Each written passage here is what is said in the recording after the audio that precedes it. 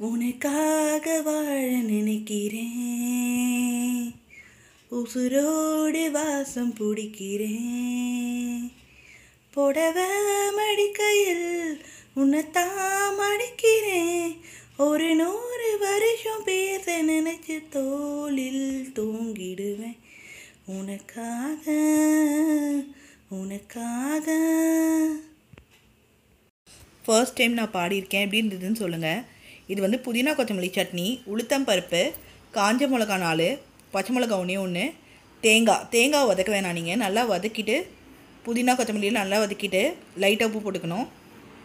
நல்லா ஆற வச்சுட்டு அரைச்சிங்கன்னா யம்மியான சட்னி ரெடி ஆகிடும் ரொம்ப சூப்பராக இருக்கும். இது இட்லி தோசை எல்லாத்துக்கும் ரொம்ப நல்லாயிருக்கும் ட்ரை பண்ணி பாருங்கள் ட்ரை பண்ணி பார்த்துட்டு எப்படி இருந்ததுன்னு சொல்லுங்கள் thank you so much friends N videos உங்களுக்கு பிடிச்சிருந்ததுன்னா ரைட் சைடில் இருக்க சப்ஸ்கிரைப் பட்டனை கிளிக் பண்ணிக்கோங்க. சப்ஸ்கிரைப் பட்டனை கிளிக் பண்ணிவிட்டு அந்த பெல் சிம்பை கிளிக் பண்ணி ஆல் கொடுத்தீங்கன்னா என்னோட எல்லா வீடியோஸும் நீங்கள் மிஸ் பண்ணாமல் பார்க்கலாம். Thank you so much friends